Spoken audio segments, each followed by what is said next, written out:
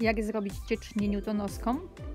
Weź miskę, naszykuj skrobię ziemniaczaną i wodę.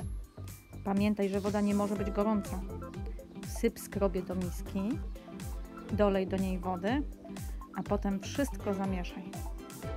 Na koniec pozostaje już tylko wspaniała zabawa tym, co powstało. Do dzieła!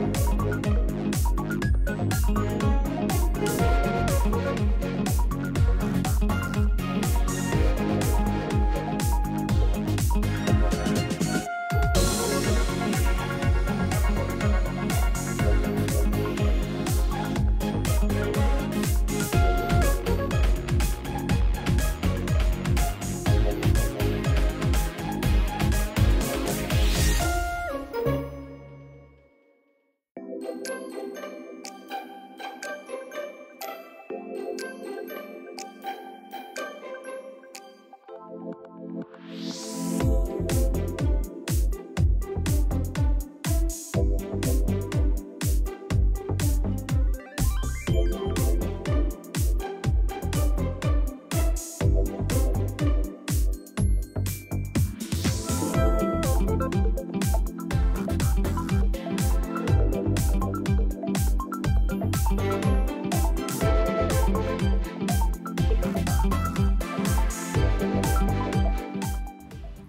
Jak sprawić, żeby jajko stało się gumowe?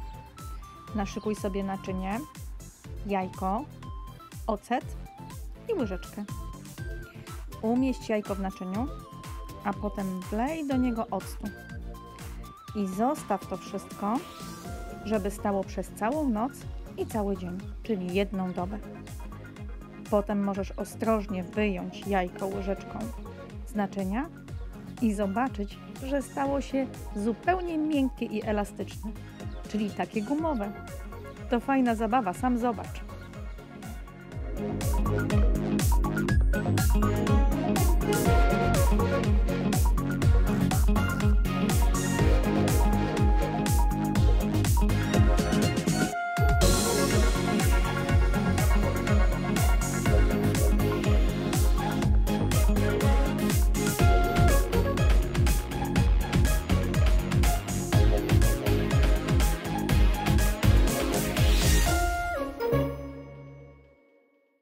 ハハハハ!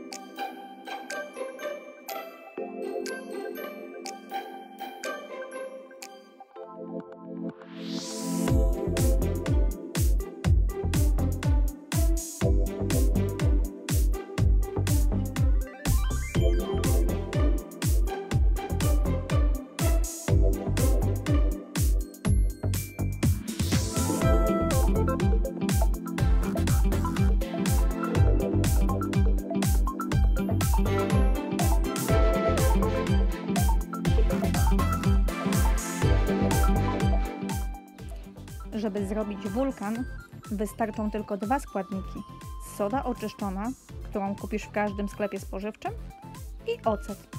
Też można go kupić w sklepie spożywczym. Żeby nic się nie zalało, naszykuj sobie miskę. W miejsce umieść, umieść szklankę. Do szklanki wsyp sodę oczyszczoną, a potem dolewaj octu i popatrz, co się dzieje. To fascynujące.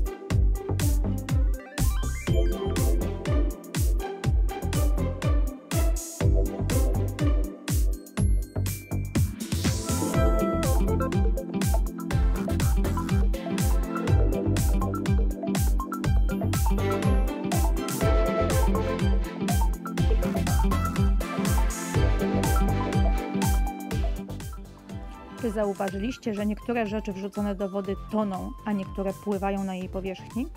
Sprawdźcie to sami.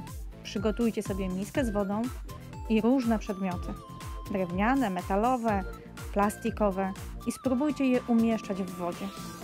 Niektóre będą pływać, a inne będą tonąć. Od czego to zależy? Hmm, podpowiem Wam tylko, że znaczenie ma gęstość przedmiotów w stosunku do gęstości wody.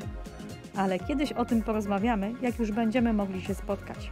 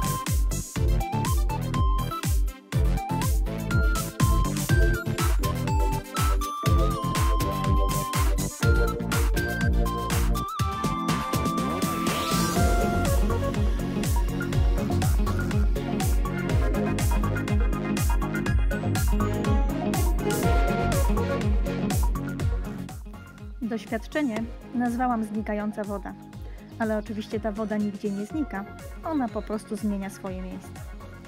Jak zrobić takie doświadczenie? Przygotujcie sobie talerzyk. W naczyniu przygotujcie wodę. Najlepiej ją czymś zabarwić, żeby doświadczenie było lepiej widoczne. Wylejcie tą wodę na talerzyk. Na środku talerzyka umieśćcie świeczkę. Świeczkę trzeba teraz zapalić a potem ustawić na niej dnem do góry szklankę. Świeczka za chwilę zgaśnie, a woda, która znalazła się na talerzyku, wpłynie do środka szklanki. Na talerzyku będzie jej mało, ale za to więcej będzie jej w szklance. Czy to nie jest fascynujące?